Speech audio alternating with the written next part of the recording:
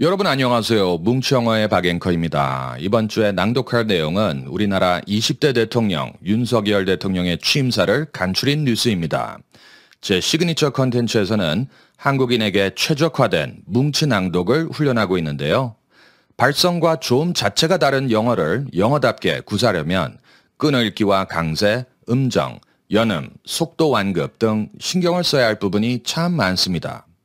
제 채널이 처음이신 분들은 4대 끊어읽기 영상을 우선 보시는 걸 추천드리고요. 그 다음에 다양한 뉴스와 문장을 가지고 매일 낭독 연습하는 걸 권장드려요.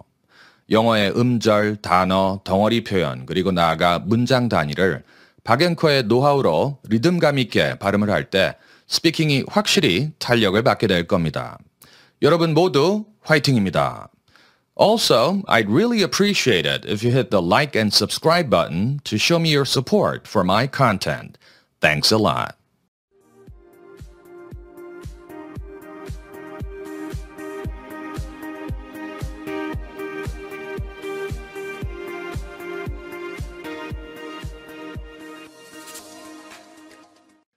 먼저 주요 구문과 발음 꿀팁을 살펴보겠습니다. Number 1.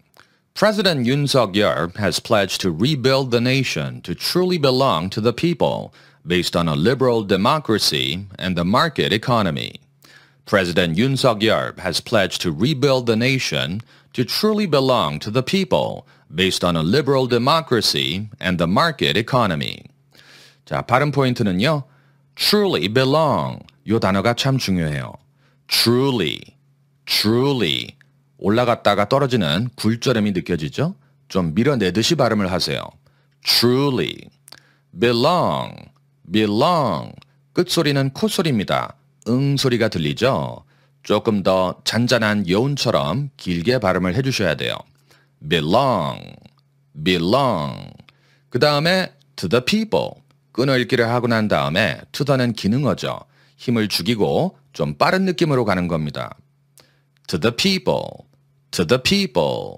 자, 박자감이 달라지죠? 요 부분을 잘 복제해 보시기 바랍니다. 자, 그리고 democracy. democracy. 뭐의 강세와 음정이 팍 올라가요. 어떤 분들은 데모크래시 이렇게 발음하는데 아, 그렇게 발음하면 원어민이 못 알아듣습니다. democracy. democracy. 뭐의 강세를 확실히 주세요. 그리고 market. market. 마켓이 아닙니다. 그거는 콩글리시 발음이죠. market, get, 쌍기역 소리, 에, 죽이는 소리로 발음을 하세요. market, market. Number two, citing the COVID-19 pandemic, global supply chain disruptions, climate change, food and energy shortages, low growth, and societal polarization. Citing the COVID-19 pandemic, global supply chain disruptions, climate change, food and energy shortages, low growth, and societal polarization. 자, 여기에서는 disruptions, 요 단어 발음이 중요합니다. disruptions, rub, 비읍 받침으로 잡았다가 발음을 이어주시는 거예요. disruptions, 프 소리가 안 납니다. disruptions. 그리고 너무나 중요한데요. climate change, 두 단어로 이루어진 단어 뭉치에서는 첫 번째 단어에 음정 강세가 더 들어갑니다. 그러니까 떴다 떨어지는 느낌이에요. climate change, climate change, change에서 떨어지는 게 느껴지죠? 그리고 societal, societal, 이중 모음 발음이고 sire, sire 소리가 납니다. societal. Number three, The president assessed that anti-intellectualism, in which discord among different groups leads to the distortion of truth, threatens democracy. The president assessed that anti-intellectualism, in which discord among different groups leads to the distortion of truth, threatens democracy. 자, 여기에서는 중요한 파트가 in which부터 truth까지가 부연 구문이라는 거고요. 발음을 좀 밋밋하게 약간 빠른 속도로 가주는 거예요. 그리고 threatens가 동사 아닙니까? 가장 중요한 단어라고 볼 수가 있는데 살짝 truth에서 살짝 퍼즐을 해줬다가 threatens democracy 좀 도드라지게 임팩트를 주어서 발음하는 게 좋습니다. Number four. Should the regime take practical steps toward denuclearization, Yoon promised a bold plan in cooperation with the international community to support groundbreaking improvements in the North Korean economy and its people's lives. Should the regime take practical steps toward denuclearization, Yoon promised a bold plan in cooperation with the international community to support groundbreaking improvements in the North Korean economy and its people's lives. 이 문장에서 중요한 단어는 뭐니 뭐니 해도 비핵화란 단어가 되겠습니다. denuclearization, denuclearization, de, 요 접두어는요, 탈, 분리란 뜻을 갖고 있죠. 끊어 읽으시면 좋습니다. denuclearization, denuclearization 이렇게 읽어주시고요. groundbreaking, groundbreaking, 파격적인, 획기적인이란 말인데 D 철자 소리를 안 냅니다. groundbreaking, groundbreaking 이렇게 발음하는 걸 권장드려요. 여러분 모두 영어 스피킹 강자가 되세요. 화이팅입니다. President Yoon Suk-yeol has pledged to rebuild the nation to truly belong to the people, based on a liberal democracy and the market economy. At his inauguration ceremony, in front of some 41,000 people gathered at the National Assembly lawn on Tuesday, Yoon said he is responding to the call of the times to advance South Korea toward fulfilling its responsibility and role in the international community.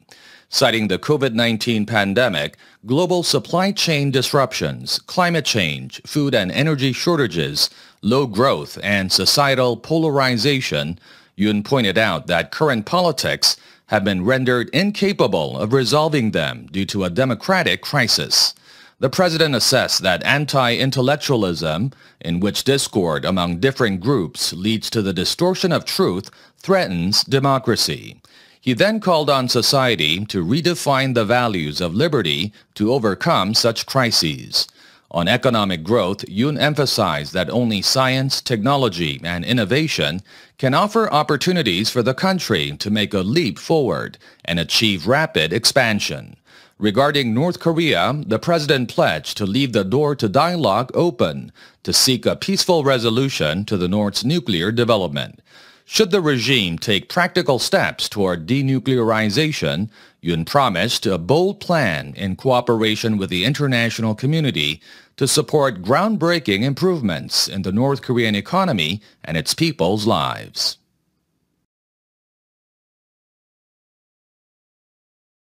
President Yoon Suk-yeol has pledged to rebuild the nation to truly belong to the people based on a liberal democracy and the market economy. At his inauguration ceremony, in front of some 41,000 people gathered at the National Assembly lawn on Tuesday, Yoon said he is responding to the call of the times to advance South Korea toward fulfilling its responsibility and role in the international community. Citing the COVID-19 pandemic, global supply chain disruptions, climate change, food and energy shortages, low growth, and societal polarization, Yoon pointed out that current politics have been rendered incapable of resolving them due to a democratic crisis. The president assessed that anti-intellectualism, in which discord among different groups leads to the distortion of truth threatens democracy. He then called on society to redefine the values of liberty to overcome such crises.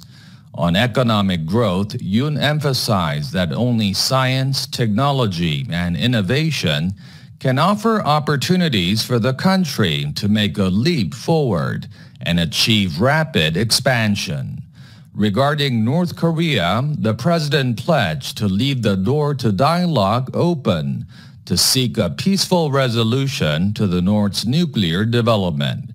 Should the regime take practical steps toward denuclearization, Yoon promised a bold plan in cooperation with the international community to support groundbreaking improvements in the North Korean economy and its people's lives. President Yoon Suk-yeol has pledged to rebuild the nation to truly belong to the people, based on a liberal democracy and the market economy.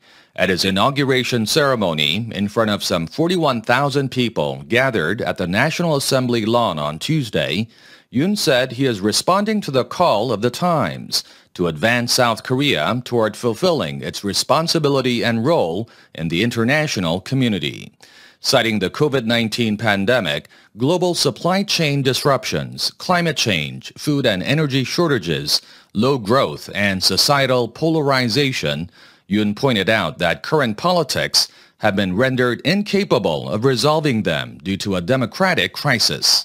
The president assessed that anti-intellectualism, in which discord among different groups leads to the distortion of truth, threatens democracy. He then called on society to redefine the values of liberty to overcome such crises. On economic growth, Yoon emphasized that only science, technology, and innovation can offer opportunities for the country to make a leap forward and achieve rapid expansion. Regarding North Korea, the president pledged to leave the door to dialogue open to seek a peaceful resolution to the North's nuclear development.